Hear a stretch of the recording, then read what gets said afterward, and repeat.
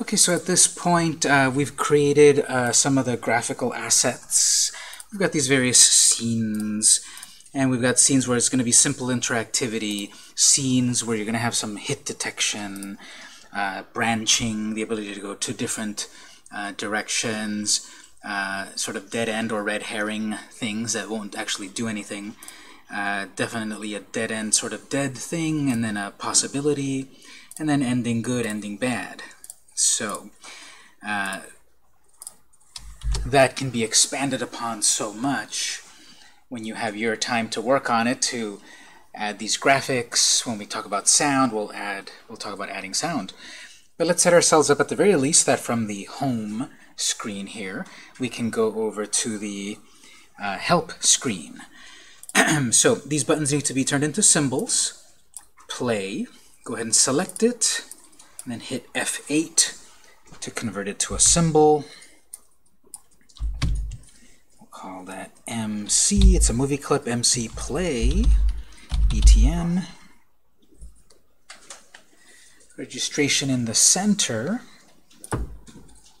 For help, same thing, MC Play, BTN. So this is the inst uh, this is the name of it in the library, which sometimes is confusing because there is the name of the object in the library and then there's also the instance name on the stage. And oftentimes they can be the same thing, but usually what I'm doing is, in the library, I've got the prefix of MC showing that this is a movie clip, because of course we can make movie clips, we can make graphic symbols, button symbols. And I've got the name and then further explaining BTN, it's a button.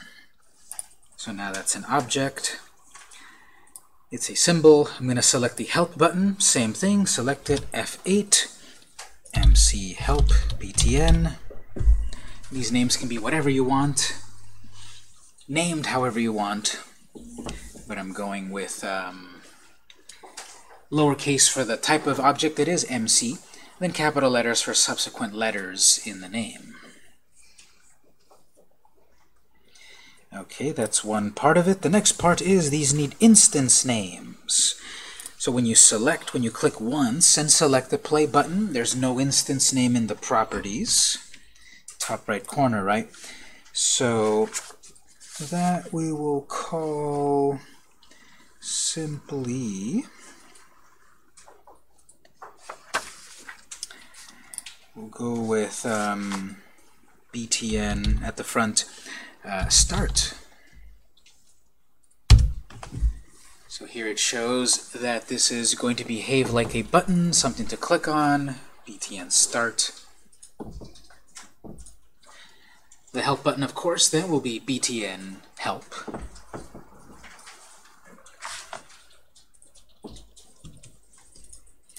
So I'm going to select that, btn help.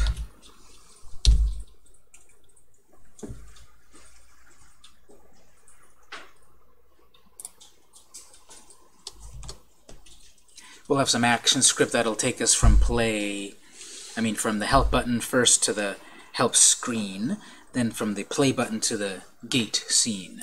So we'll need a new layer called actions.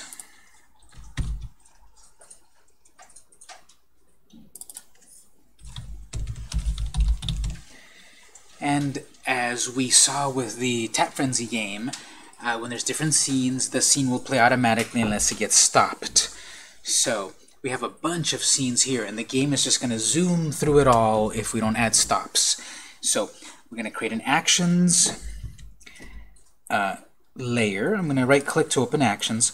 I'll add the most basic stop command, and then I'm going to copy and paste the actions uh, layer into every scene.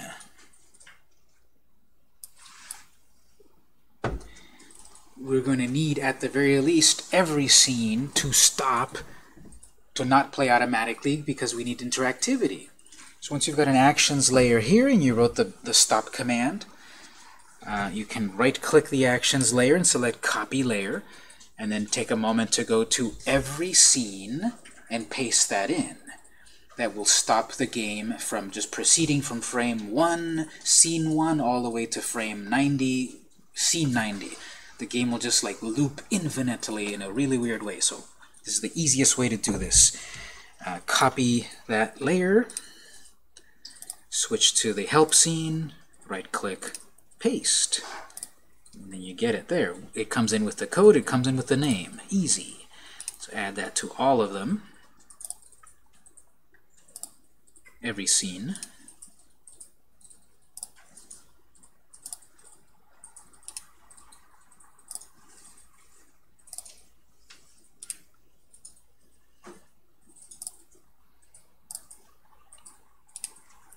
We've done all of this work so far. We haven't seen it on the device yet. So after you paste in your actions layer to every scene, go back to the start scene, save it, and then take a moment to set up your publish settings, your Air for Android settings, so you can actually see it on the device. Nothing will happen yet, of course. The buttons don't actually go anywhere, but at the very least I want to confirm uh, that it all works. And you can reuse the same um, P12 certificate you've been using so far. And uh, you want to go to your Android settings, as we did with the with the other game, language, set it to English, permissions, read phone state. We can't do anything with icons yet. Deployment needs your certificate.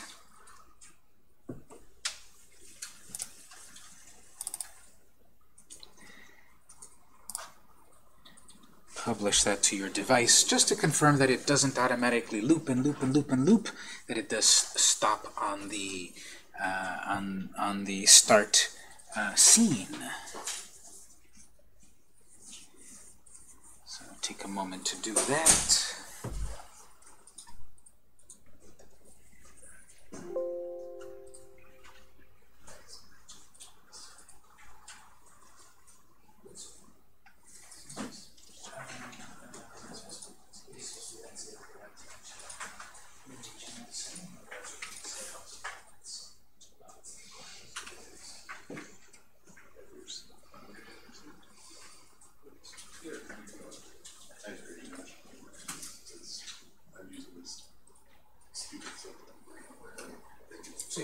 It and it doesn't look landscape, whoops, I forgot to put it landscape as well. It'll appear portrait size shrunk down.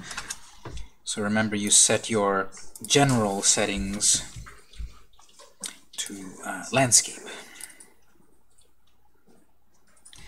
And also the quick way to test in the future after you've closed your Android settings. Remember you can go up to Control Menu, um, Test Movie on on device USB, and then subsequent times you just do control test, and it'll remember you want to go to the USB connected device, and it'll publish it.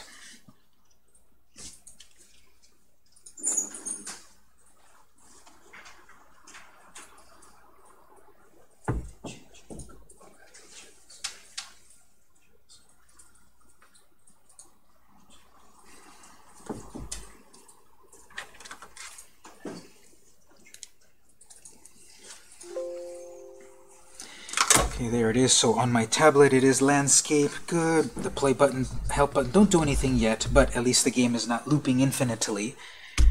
So we can then add some real code.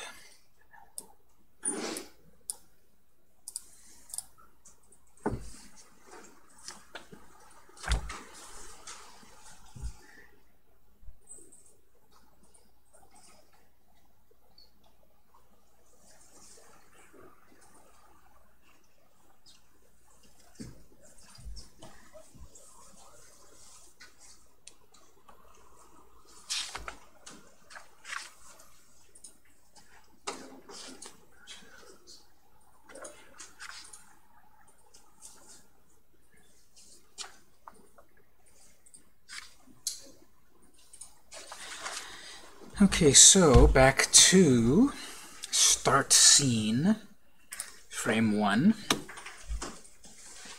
After we stop the, the project from proceeding, uh, as we've done before, we want to set up a few uh, imports. We want to import some of these libraries. The point of this is that, let's say there's like 200 ActionScript commands not all of them are sort of activated when you create a project. So you have to import the various commands. Um, we did that previously. We imported a few things. So we'll do it again here. Import space flash dot events dot touch event semicolon. So originally ActionScript was set up to have interactivity on a web page, which was a click. Uh, now we want to say, okay, well, our project is going to be on a tablet. It's going to have touch. So we want to be able to use touch events. So adding the quick note here, import various action script libraries for features. And if you'd like, you can fully also document that to say um, device touch ability. So with the touch event, we are able to uh, have it detect a tap, a tap and drag, a two-finger tap, etc. That's what these imports do. They give you more features, and specifically this one lets you work with touch abilities. We'll do another one, import flash dot events dot event. Oops, events plural uh, dot events with a capital E.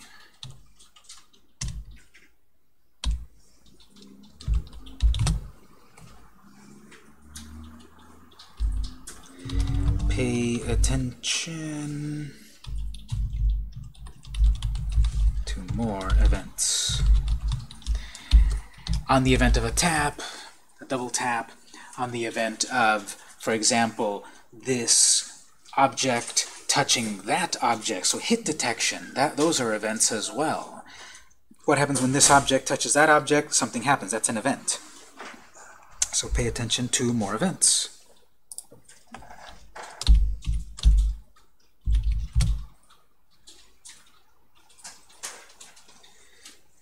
Example, hit detection.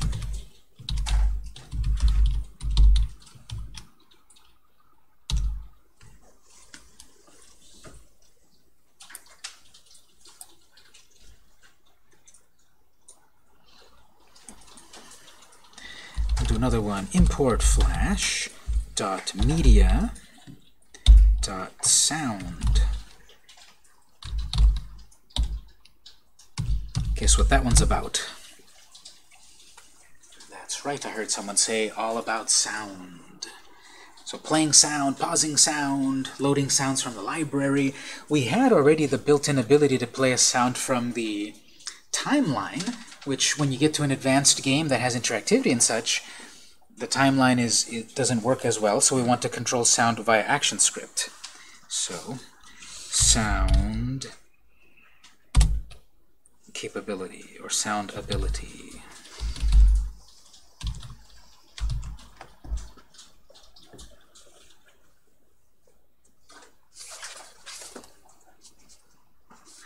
There's one more here.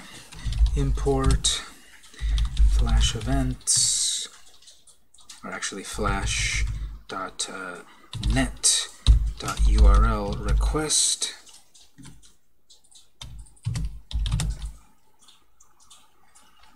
So this one, what's the best way to say it? Uh, load external content ability.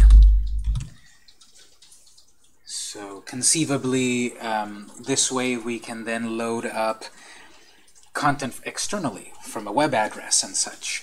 We can pull something off of a server uh, to load into our project. So this is our imports section. We have then the ability to start to import, I mean use extra features.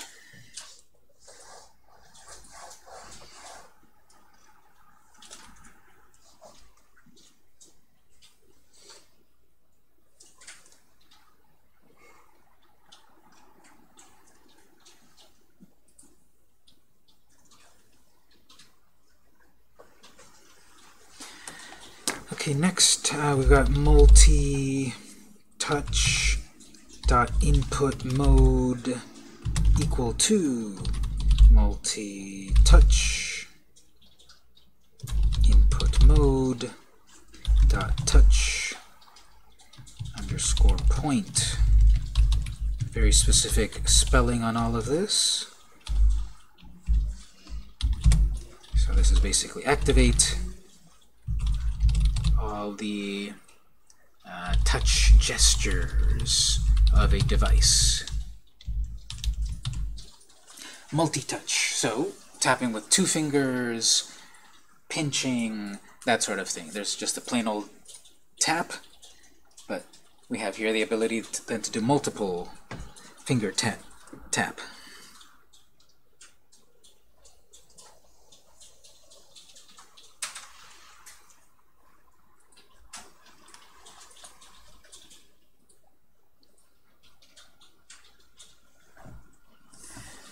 So when we were working on the Touch Frenzy game, remember there's the instance that someone's playing, and then, oh, they got to answer a text message, or they've got to do something else in another app. They're going to pause the game and go to another app. They press the home button, they, they exit the app temporarily. It's still in memory, but they've deactivated the app.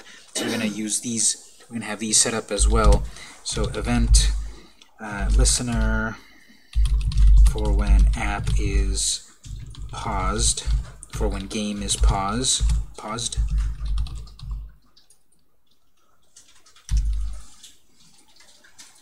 That's native application dot native application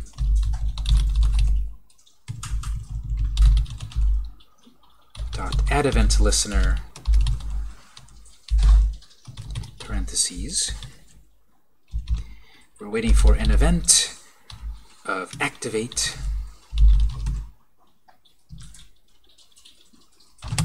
comma, then we run a function. What happens when the when we start the game, the game is activated. So this code is waiting.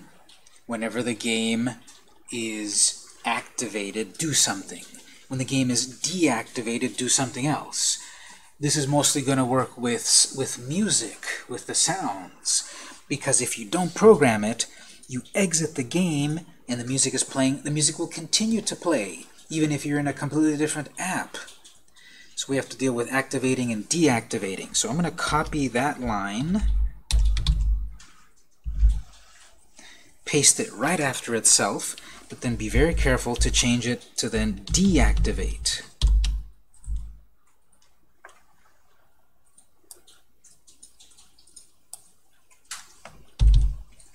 Event listeners for when the game is paused or resumed.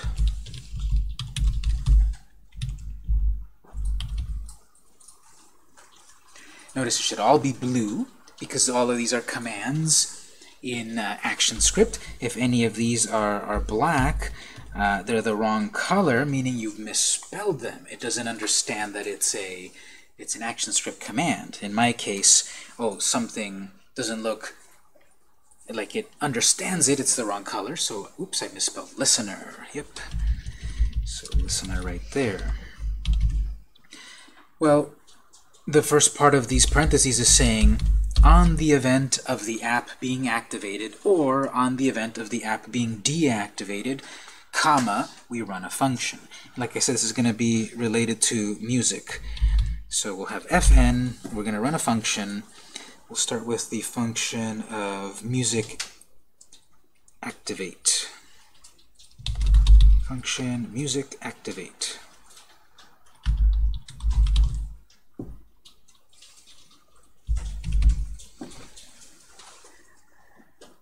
So then you might get the idea here, when the game is paused, this will run a function called function music deactivate.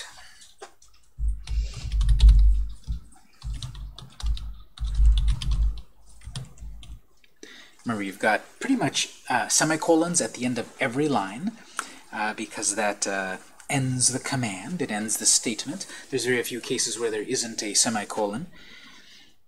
So these two lines here are event listeners. They're listening for events. They're waiting for something to happen. They're waiting for the game to activate or deactivate. Then they run a function. Next line, then we need to define these functions. Define the fn music activate activate function. And so that's going to be, you say function, that's the command, that's the keyword, we're going to do something. Function, we're going to define a function called fn music activate parentheses colon void curly braces break those apart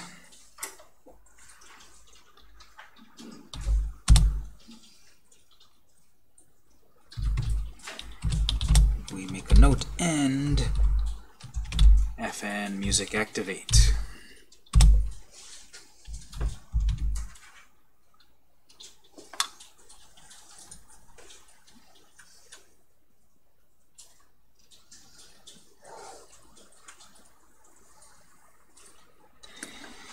These parentheses then have to say this function works when there's an event of type event.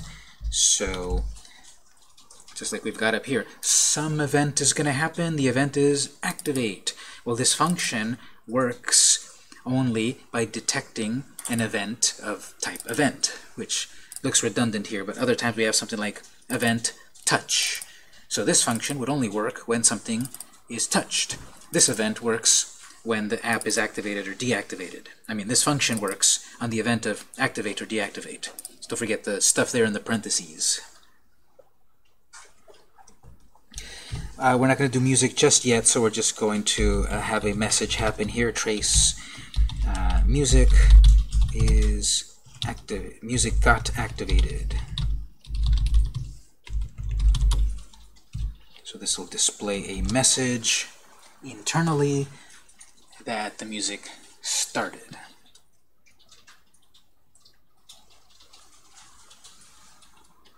We need something very, very, very similar for deactivate. So I might save myself a little bit of effort by copying that whole little chunk of code, 16, 17, 18, 19, pasting it and changing it a little bit uh, to deal with deactivate.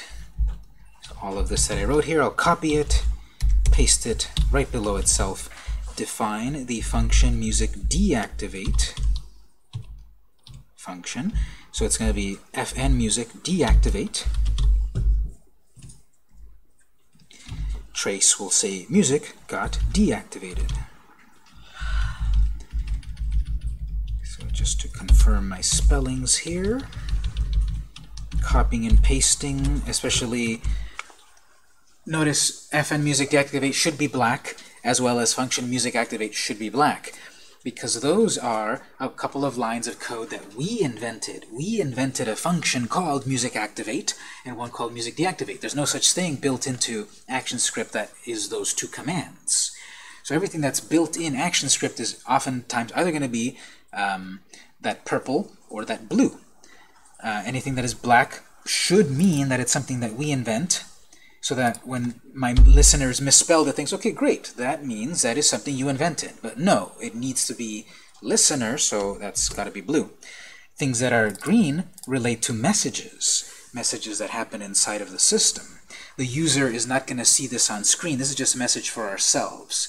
The game has deactivated. It shows proof it's deactivated if that if that uh, if that trace message appears.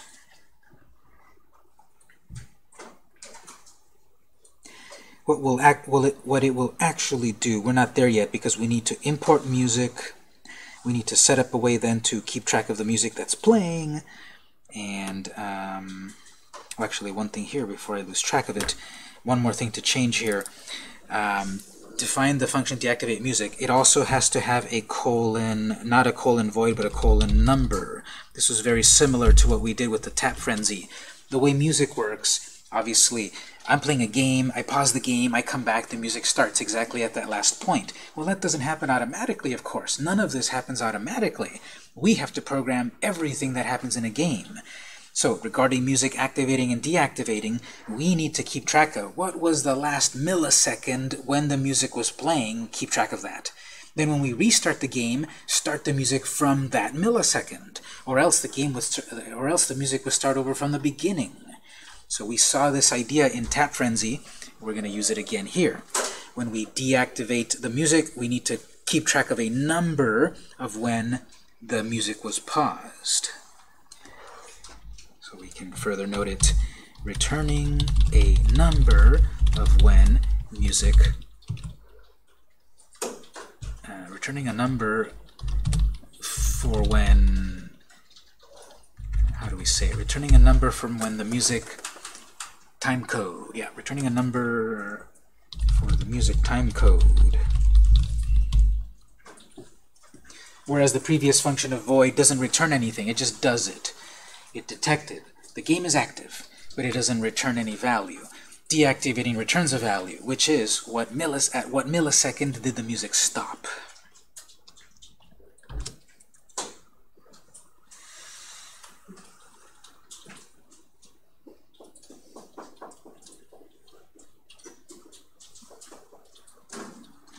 Okay, so then we'll make some event listeners to pay attention to clicking play or clicking help. Next lines.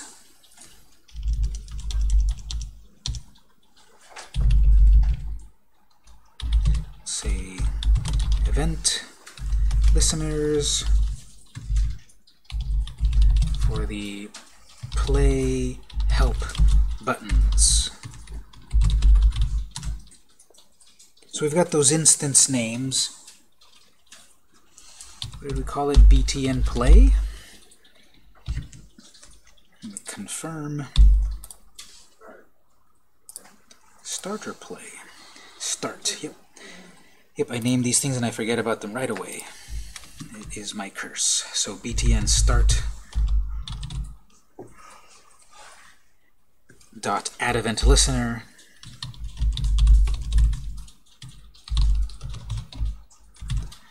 These event listeners are very, very, very common. There's a bunch of types of events. We had the event up there about the game activating or deactivating, and now here's an event based on a person's tap. We will need one for the help button, btn help.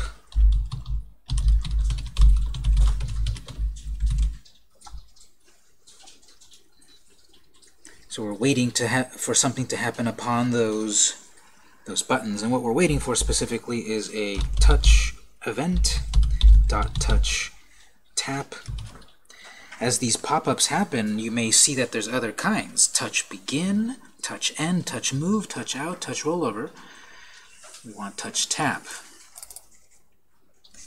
Later on, when we do the drag, it's going to be a different sort of a thing. Comma, something, and that's going to be required for both help, and start.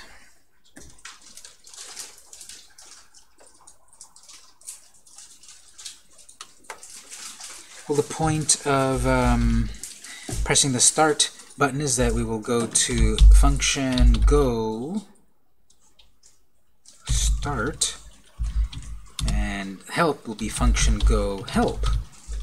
These functions will take us somewhere. They will go from the current scene, they will go somewhere. They will go start.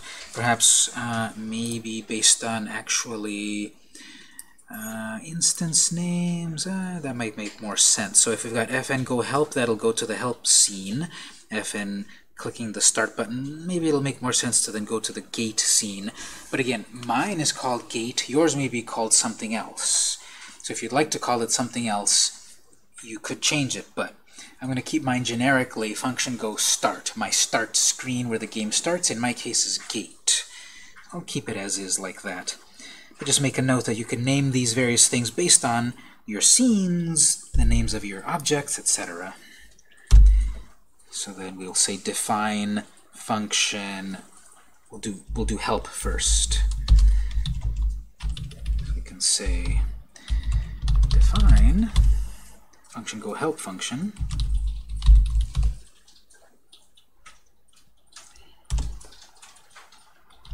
So that's function, the name of the function, parentheses, colon, void. In this case, it's not returning anything, it's just doing what we told it. And then we'll note that this is the end of that function, parentheses, this function runs after an event, specifically touch event.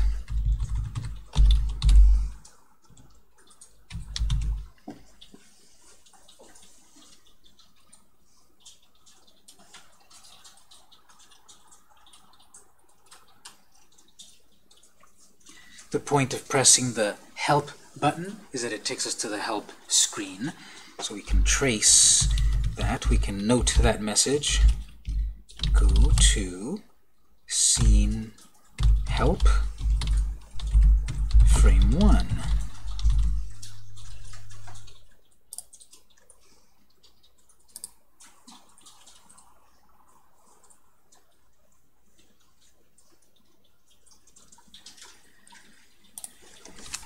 So we need something extremely similar for start. We can save some, ourselves some effort by copying and pasting and changing a couple of things, or typing it from scratch. But oftentimes the copy and paste really helps. So I'm going to copy that whole chunk, the comment, the function definition, the trace, the end. I'm going to copy that and paste it after itself, and then change the details, which is define, go start function.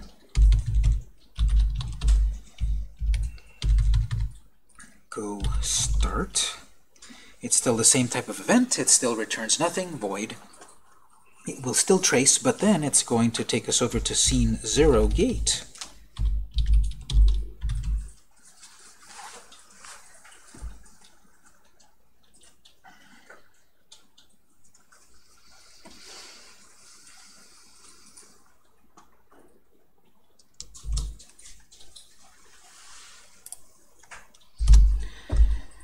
So those trace, those messages are simply notes for us as the programmer.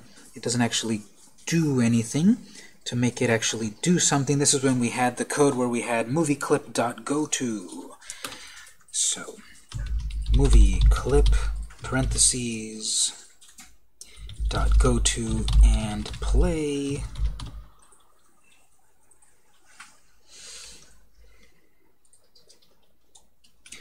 semicolon.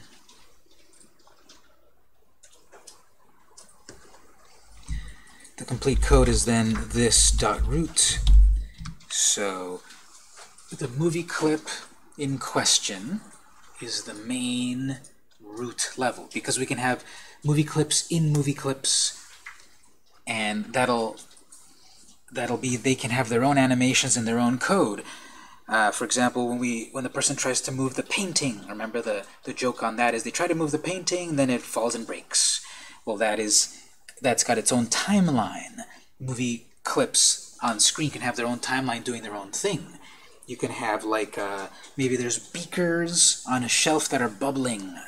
So those are objects that are movie clips that are doing their own thing with their own timeline movie clip this root is basically saying from the top level, from the main level of the app, we will go to and play somewhere, something. We'll go to 1, so that's frame 1 of the name of our scene. In quotes, then is scene help.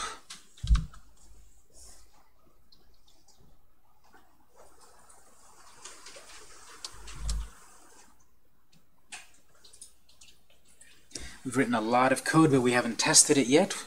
We will do our function start in a moment. This is a good time to, to stop and save and try to run it on the device uh, to see if we get any error messages and try to fix them.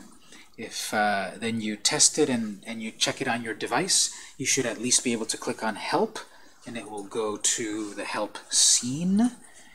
If it doesn't, we'll, we'll we'll do a little help. Uh, let me check mine here. I got a little thing here. Function does not return a value. Okay, that one, what's if you get this function does not return a value, let's fix it right here. Um, we're getting a little ahead of ourselves.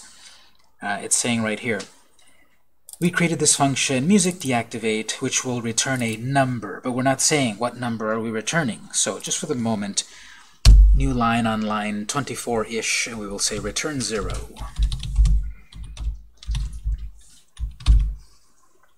The function of music activate is void. It doesn't return anything. It just does something. the function of deactivate music does return something because of colon number, which is at what millisecond is our music currently playing. We didn't write, well, let's return that value. We're not dealing with music yet, so we'll just say, oh, return 0. We don't know what, what time the music is playing, that's our number. So if you got that message about function not returning a value, just put return 0. That should take care of it. Test it, yeah, then it'll behave. So test that, check if you've got any errors. If you've got errors, call us over. Let's figure it out. Maybe a little misspelling, and then we'll continue.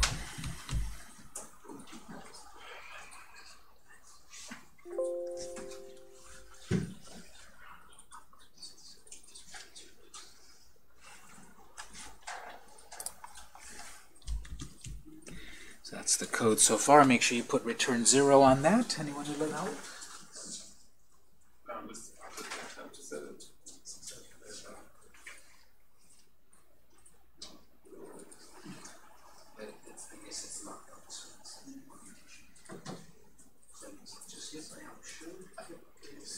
is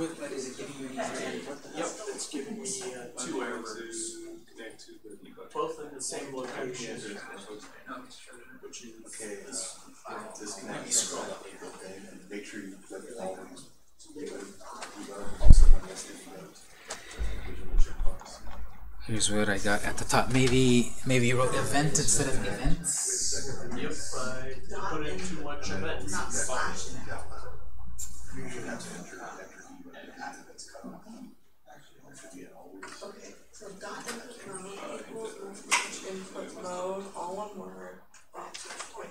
Okay, now I said always. Wasn't there a checkbox for always email? Yeah. it's put the checkbox. still have that, then that's that one. So let's go to eleven nineteen. No, no, right then.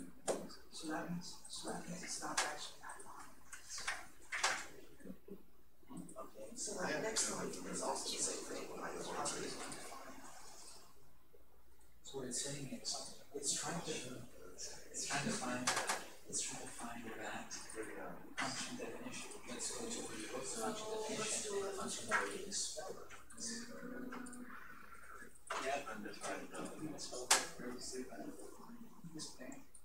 Oh, Undefined property and some reason activate. Because what it's saying over here, up here it's saying that you're trying to use a function, and call it something. It's defined down there. Now, Yeah, I, I to put out pretty quick before I was trying to experiment with the code by itself, just to see what we work out to. But there's one I noticed that the first two notes there is prior experience with that. Yeah, it's, it's in the same sort of general family. Which one, which one I'd like to learn code? Like that,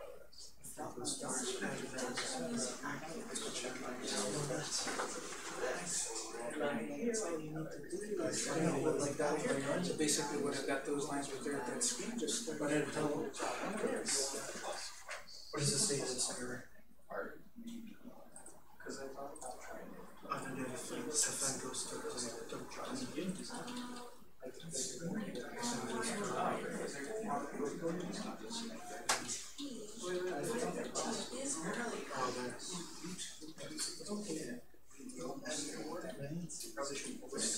Try this. Um, double click on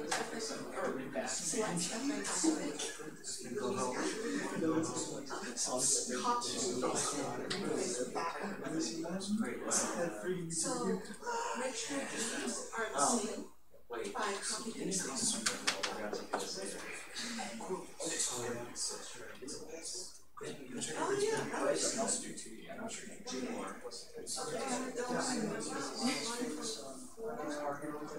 Okay, Function does not return a value.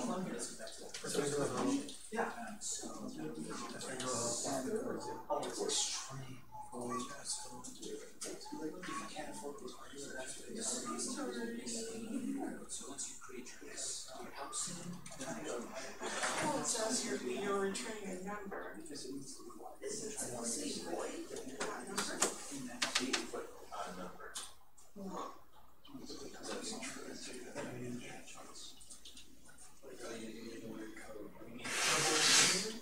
Um, the function using activate and deactivate, uh, returning value of a number. Yes, we, we, uh, did cover that, so, uh, right after your trace about the, about deactivating, What's like, what's like the famous like coder?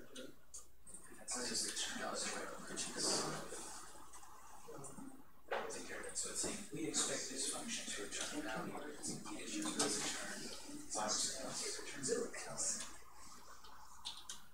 zero. Uh, undefined property, start, wait, wait,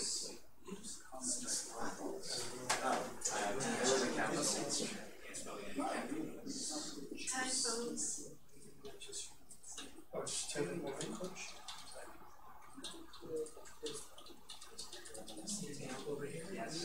oh, no.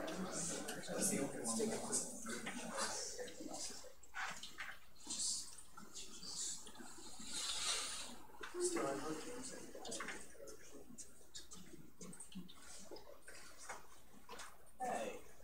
I was, I was thinking maybe something else, because the fact that I have one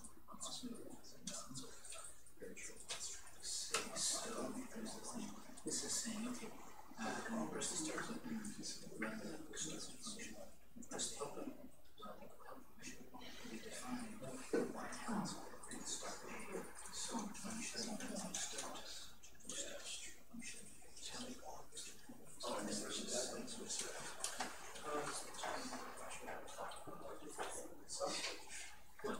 here we're saying that's one function. I have one, like when we try to experiment, it's like, Undefined property is they're saying, they're always saying, I don't know what it's you not mean. experimentation, So you know, that Just is look at the typo. no error, But no times error. two, code. and I I have to uh, turn on the tablet just to make sure that it's How long was that? See, I was just, I was just self-experimentation.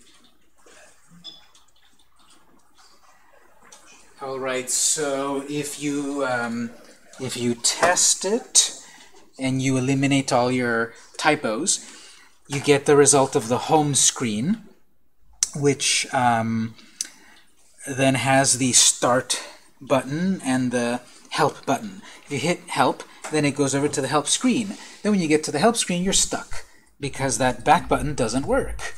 So we'll take a moment to go over to the help scene uh, and get that working. That'll be pretty easy. Uh, and then when we come back to this um, um, welcome screen here, then we'll have it go to the main game. But we'll go over to the help scene. This is another example where it might be very, very, very useful to do a little copying and pasting. because what we're going to need is we're going to need for uh, something to be clicked on to run some function and do some result. So you can save yourself a lot of effort if you do what I'm about to do here, which is that the uh, I can copy the event listener, then copy the function definition, paste it into help, and just then change the details. Now also, that back button actually is not a symbol yet. So we'll fix that in a moment. But I'm going to um, copy the event listener plus the function and jump over to the help scene. Paste it in after stop. And the things that we're going to change is we're no longer waiting for the help button to be pressed. We're waiting for the back button to be pressed, which doesn't exist yet, so we'll, we know that it'll be called btn back.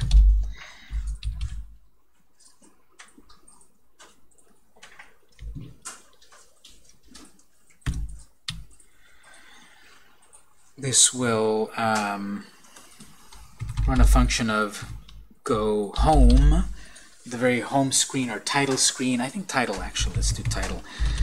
Uh, title screen is uh, the very first uh, screen that we see, the, the title of the um, of this uh, of the game. And then therefore the function definition is going to be here, go title, define go title, trace, go to scene start frame 1 and movie clip is go to and play 1 scene start. That's easy. That's all we need to do in the in the help screen. Some object has an event listener. After we interact with it in this case a touch or a tap it does something and the something is to go back to the title we will have to deal with music a little bit later. So what I'll actually do is write a note here to do. We need to do this eventually, uh, which is to uh, play music in S start again.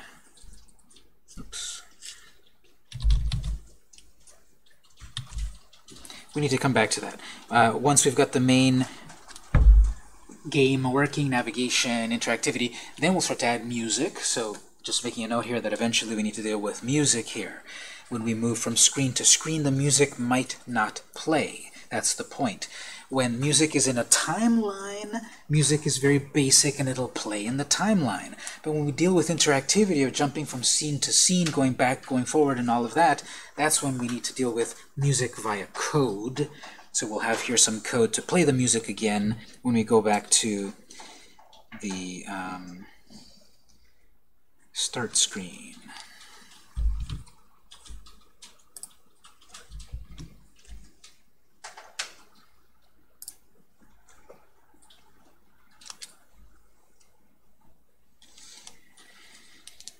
Okay, so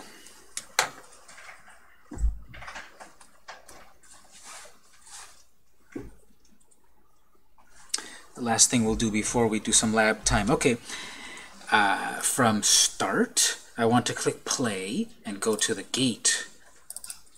I want to start to then finally interact with the game. So again, based on what we've done, very simple in terms of what we've learned so far. If our function go has this code to take us to that scene, we're going to need something 99% the same, but for the other scene. So here's some copy and paste, copy and paste the movie clip code, and we just need to change it then to say S0 gate.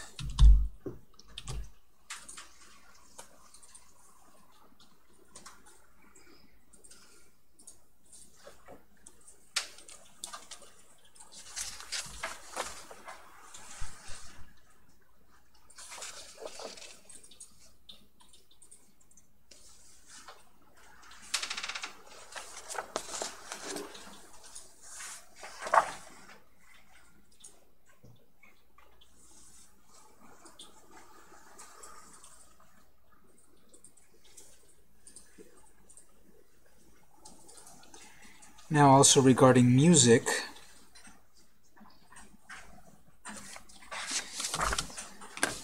we need to add a little bit more here. So we go to the help scene, great. But in this particular scene, we have the activate music, deactivate music functions. These will eventually be set up to play the music in the title screen.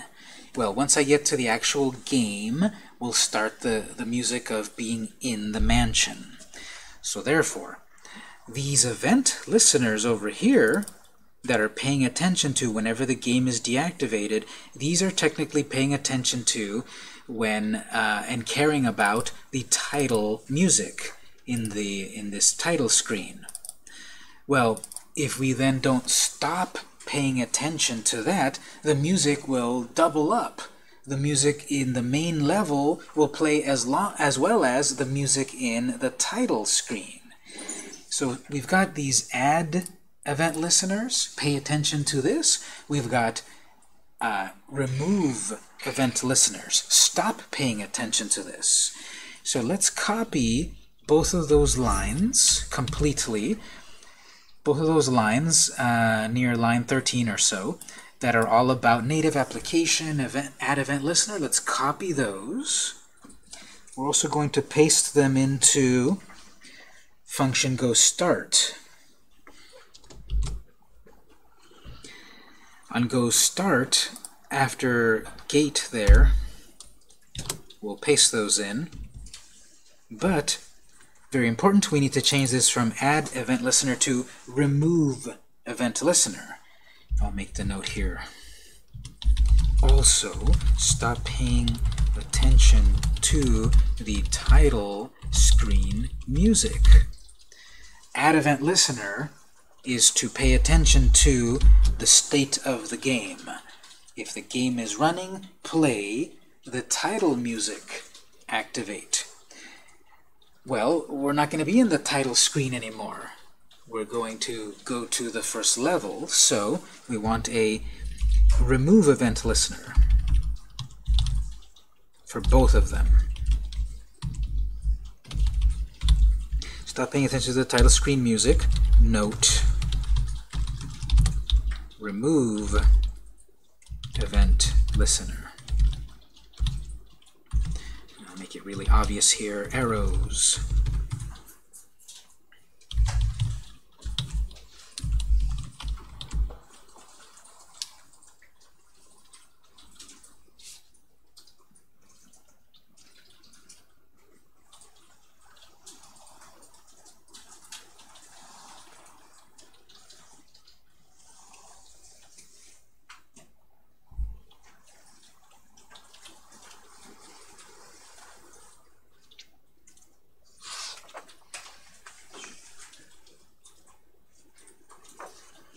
We have these event listeners that pay attention to various things that happen, but sometimes we need to stop paying attention to those things, especially when music conflicts.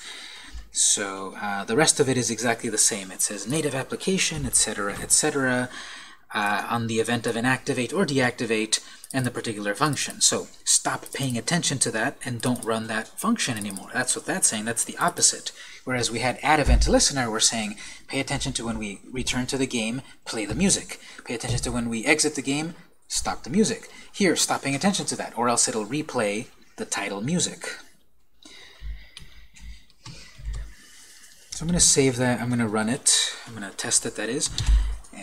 Hopefully no errors. Oops, seem to have an error here. Let's see what that's about. Access of undefined property, btn back. Okay, yes. Uh, what is this error trying to tell me here? It doesn't exist. It doesn't exist. Exactly. We wrote the code back on the help screen saying, pay attention to something called btn back. And when that gets tapped, run that function. Uh, well, I see the button right there, so why doesn't it know that this code is related to that button? That button, in my case, I have not turned it into a symbol yet, and I have not given it that instance name. So on the help here, that's what that's saying. Find something on the screen with that instance name, wait for it to be tapped, then run a function. Whoops, I forgot to turn this back button into a symbol and give it an instance name. So I'm going to select it. I'm going to call it MC back btn. Uh, that is select it, F8 to convert it, MC back btn. Movie clip, center registration,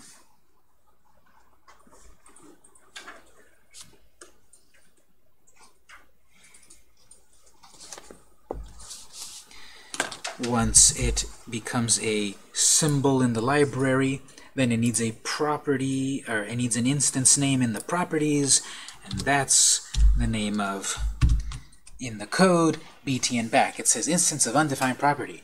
It's saying, it's saying there is something missing. I don't know what btn back is. Nothing had that instance name. Well, now it does. The back button has an instance name. Now, when I test it, in my case, no errors.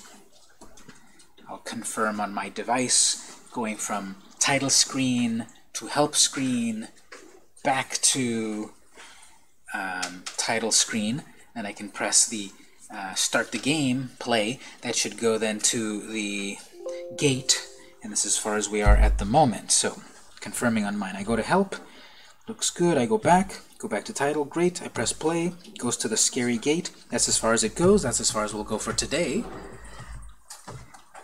But you should have, you should make sure none of your errors are, are, are there. I'm going to put this code so far into the network folder. I'm going to put it on Canvas. We're going to have some lab time. You can either work on your Tap Frenzy game, or you can work on the uh, Adventure Quest game, and we'll be here until 4. When we come back on Wednesday, uh, do some more lecture, have a little time, lab time for you to work on Tap Frenzy, and then continue Adventure Quest.